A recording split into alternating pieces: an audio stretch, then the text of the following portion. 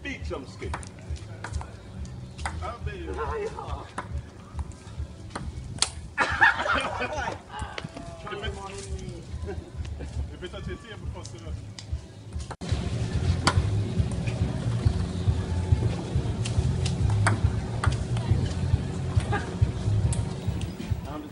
Great team leader, great team builder, Michael Sharpe. Man, this one is coming from a tough place, but a, but a great place this morning when you reflect on all that he's done. It's tough for his family, his friends, his colleagues.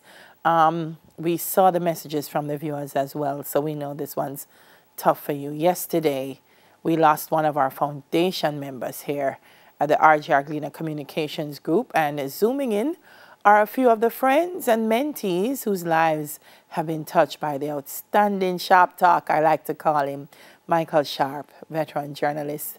Thank you for joining us this morning. We have Keon Vaz, um, television producer, Unique Francis, former TVJ, but also a television producer, content creator, Abigail Smythe, JNN presenter, Tony Stark, I call her, and Patrick Anderson veteran journalist. So, you know, things have, I haven't seen Patrick since about 2015. I'm joking, not that long. But it's great to see you, Patrick. Good morning to you all. Good morning, good morning. Good morning. Keon, I'm going to start with you because Michael is actually how I met you. Um, we were doing coverage here, and he said, and I was producing, and he said, I'm going to send one of my, my young talent them for come work with you. It was the election for me. So tell me about how you met Michael Sharpe. I met Michael. He was a lecturer. I was a student at Northern Caribbean University. Mm-hmm. And at the time, my mom said to me, you know, why not ask Mr. Sharpe if he could, you know, see if he could if he could get you into RJR. I was like, Mom, I'm not want to do that. I mean, he's my teacher. So um, I followed her uh, advice, took wise counsel, but I didn't want to just ask, you know, if there were any vacancies at RJR. I, I did a a proposal, a treatment, and a budget for a show concept that I had.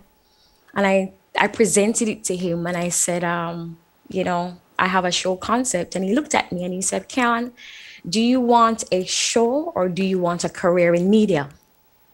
And I said, I would like a career in media. He said, Excellent choice. Now show up tomorrow morning at the conference center because at the time it was the West Kingston Commissioning um, Commissioners Inquiry. Yeah, mm-hmm. and I showed up and he said, "Yes, Vaz, that's what I like about you. People must be on time for production." Every interaction that he had with with Michael, he always dropped gems. He's the one who introduced me to editing, mm-hmm. and um, I said to him, "You know, I don't really know how to edit," and he said, "Keon, you can never." leave an organization the same way you came in or yes. entered. You yes. must grow. And if you're not growing, that means you have to think about your actual choices. Mm-hmm. There was a funny moment as well. Um, he called me and he said, Ken, what is tomorrow? I said, Tomorrow is a holiday, Mr. Sharpe. And him said, Not for you, it isn't. media, media don't sleep, Ken. No holidays media, for you holidays don't God. exist when they're in, in yes. media. Unique. That's the kind of um that's Michael's style. Um firm, professional, but but but but always putting a fun edge on it. Talk to me about about your experience with Michael. Absolutely. I started actually my resume ended up at RJR and into the hands of Michael Sharpe. And my sister got a phone call to say that Sharpe is calling regarding an internship. And I said, Who? Be Michael Sharpe? And when I called back to Delia, he was like, Oh, well, you don't want to work. You're not looking at work. So you don't have your phone in hand, I'm looking out for a call whenever work might call. and that was just my call for you. You know, it's work, but it's also a time to relax and be comfortable. And he was that type of person mm-hmm. that made you feel like you knew him years ago. You met him years ago. He's um, a cousin, a long time cousin, a long time friend that made you feel so comfortable, but yet capable to do whatever task came your way. And so I really respected that about Michael. Yeah, Patrick, um, work a hard worker, but as we can see from the photos, somebody that just enjoyed life and enjoyed being around media and, and his media colleagues 40 plus years. I mean, you'd have worked so many, so many of those years with Michael. Yes, um, because I, I, I, started out at uh, JBC, as you know, back in, back in 1983, and Michael came in, uh, about six or seven months after that. Mm-hmm. Um, that is how I met Michael. Michael came in, Michael was very gung ho, yes. um, a, a go getter. Um, and then immediately after he came, there was the Grenada invasion. And he was sent to cover it, established himself. He did a wonderful job of covering the Grenada invasion and, mm-hmm. and came back. And, you know, there are some folks, to be honest, when he just came, didn't take Michael too seriously because he was like, you know, this this hot shot and said, this guy just come on acting like that. Mm-hmm. But he did his work, earned everybody's trust and respect, and there was no turning back for Michael. Um, like like Unique and and and um, Keon.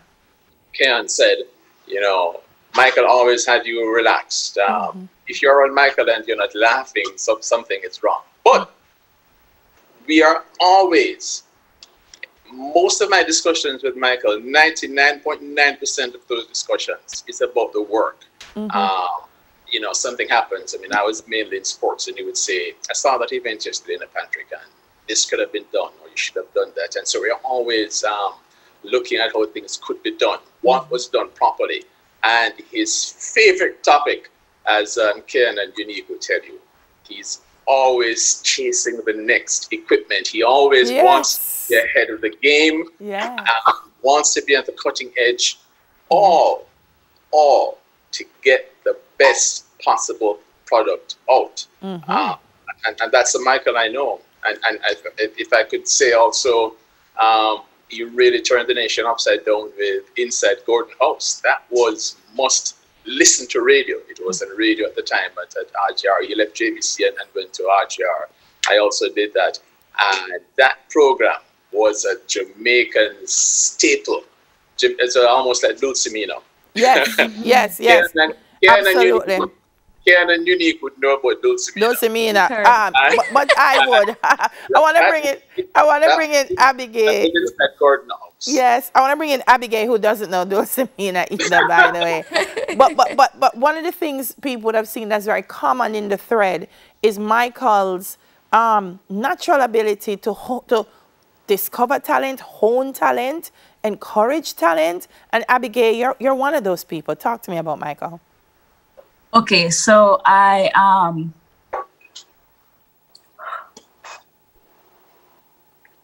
I know, I know. Just just breathe, my darling.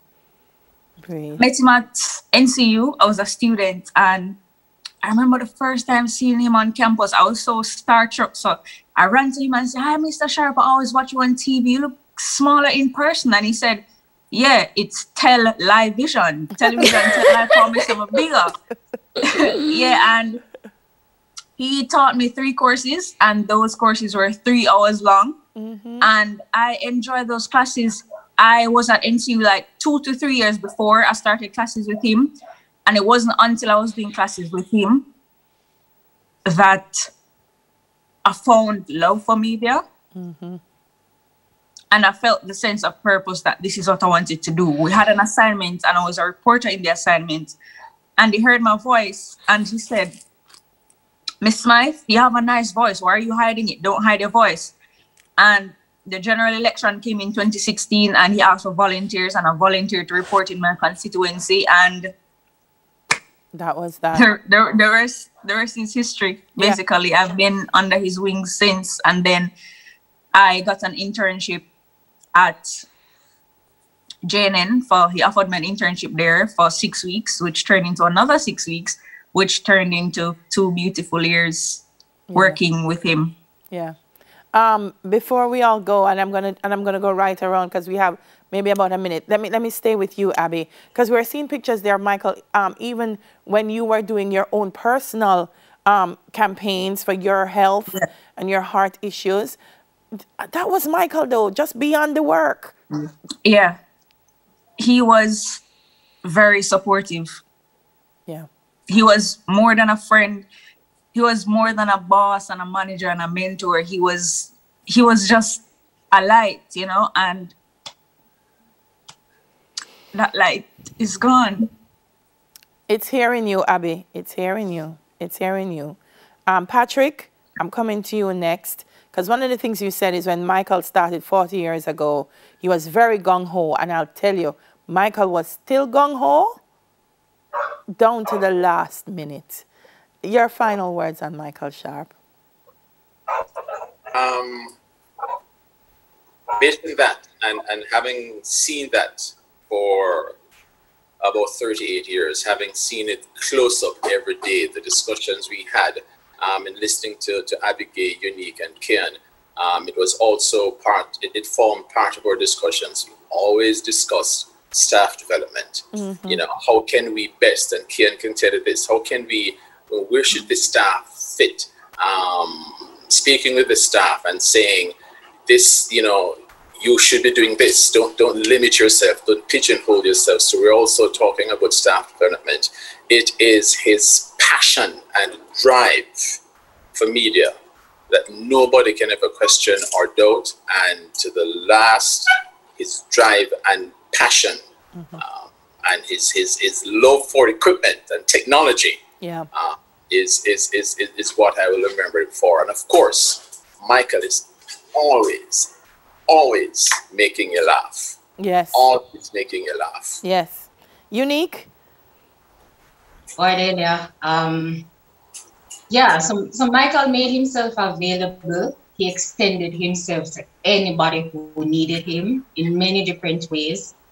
Um, he gave you an opportunity and he saw potential as small as a mustard seed. Mm-hmm. And for that, you have to just respect Michael for because a lot of persons aren't extending themselves the way he did. Yes. And when you get an opportunity to become a better version of yourself, and when somebody has such passion and belief in you, to the point where you see you definitely start believing yourself, no doubt, um, leading with excellence and just doing the right thing because he's there as a guide mm-hmm. and he never let up.